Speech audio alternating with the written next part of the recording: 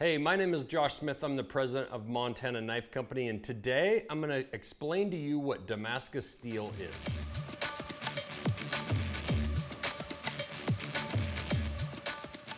Damascus steel is a layered combination of steel. And a lot of people don't quite understand what, what makes Damascus and what doesn't, and so I'm going to explain it here. Damascus steel is the combination of at least two different alloys of steel, two different types of steel, that are forge welded together to make one solid block of steel. You cannot take one type of steel, one bar of steel, and chop it up and stack it up or fold it on itself and make Damascus steel. That would be like taking red Play-Doh and rolling it out and folding it on itself over and over and over, and all you're gonna end up in the end with is red Play-Doh. So this, for example, is 1080 high carbon steel. We can stack as much of this 1080 up and forge it together, and we're still gonna just have 1080 steel. Now, if you take that red Play-Doh and you chop it up into a bunch of pieces, and in between every layer of red, you place a layer of yellow Play-Doh, you now have alternating layers all the way up. And so, for example, if that Play-Doh was to never combine together into a brown nasty ball like it does, if it actually stayed separate, you would end up with layers. And that's where we bring, in this case, in 15N20 steel, which is a higher nickel content high carbon steel. So, for example, if we took a piece of 1080 and we took a piece of 15N20 and we laid that on top, and then another piece of 1080, we now have alternating stack of steel here, as I will show you. We now have a stack of steel with a, every other layer is a different piece of steel. Now, when you get into a higher level of making Damascus, you may actually alter these layers where you put a bunch of layers of the same thing together and then one layer of a different kind of steel and then another bunch of layers. And what you end up with are, different thicknesses of those layers in your blade. But for the sake of this very simple explanation, you can see we have different layers of steel mixed throughout that. And the 15N20 in this example is very thin. The, the 1080 is a little bit thicker. So now, how do we make all these separate pieces one bar of steel? Okay, so typically what we do is we'll take a welder and we'll just weld up the ends of this bar of steel on both sides to just hold these together. That's all that that's serving for. And then we'll weld some kind of a piece of rebar or junk steel or something on as a handle that we can hold, or you can hold on to it with a pair of tongs, forging tongs. Now, we need to heat the steel in a forge until it gets to its forge welding temperature. If we heat the steel up to 1800 degrees in the forge and we press it or hammer it, push on it, it is not going to bond properly and you're to end up with flaws. This will actually all fall apart eventually. It does not get to that welding temperature. This steel has kind of a magic welding temperature of around 22 to 2300 degrees Fahrenheit.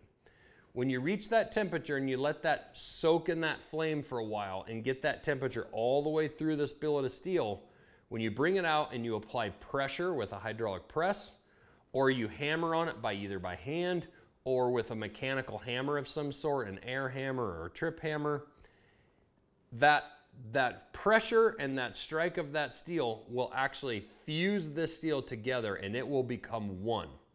So once you do that, you can draw this bar way out by forging it in a hammer or a press.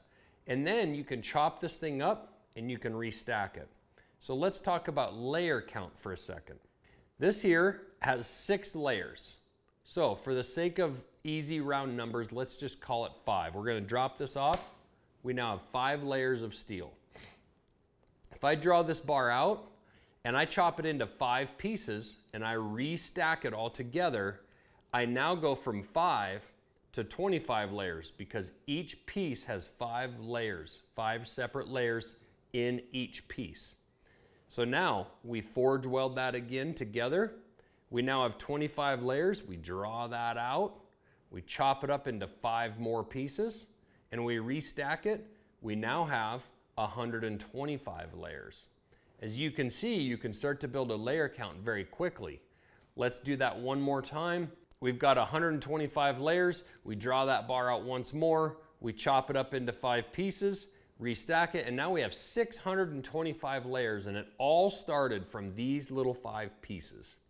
So the more you do that, the tighter your layer count gets. And at that 600 layer mark, it really starts getting tight and it really gets like a grain of a tree in the end of this bar. It gets very difficult to actually see those layers because you literally have 625 layers in this tiny little space. So when you're making your own Damascus steel, a lot of times it's better to stay down in that 100, 200 layer count, 300 layers, where you can actually see that and it's very visual for a customer to look at. As you can see here, it's a bit of an in-depth process. It actually can come all the way out. This is a, this is a bar of Damascus steel I'm working on. And we actually have twists and you can see kind of the cracks in the edge of this bar from twisting this bar up. This is a big thick bar. It's over a half inch thick. It's over an inch wide.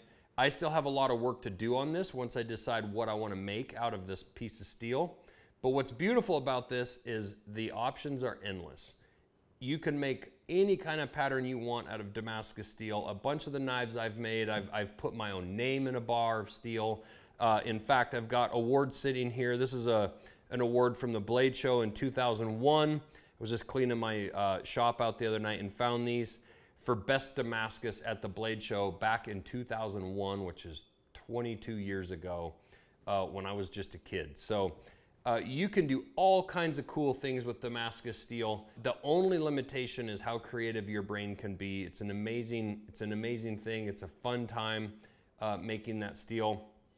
And the Damascus steel goes all the way back to the old days. And quite frankly, the reason that they made Damascus back in the old days was you didn't just go buy a great big bar of steel and cut something out of it and throw the rest away. Maybe all you had laying around the shop were these pieces of steel, but you needed to make something this long. By forge welding these together and drawing them out, you can now make something this big out of this little stack of steel. It was a very efficient use of material. Uh, it was another way where you could, you could forge this and make a big curve. Maybe you're making a spring for your horse-drawn buggy. Uh, maybe you're making a sword, and you can do all of that out of a small stack of steel like this.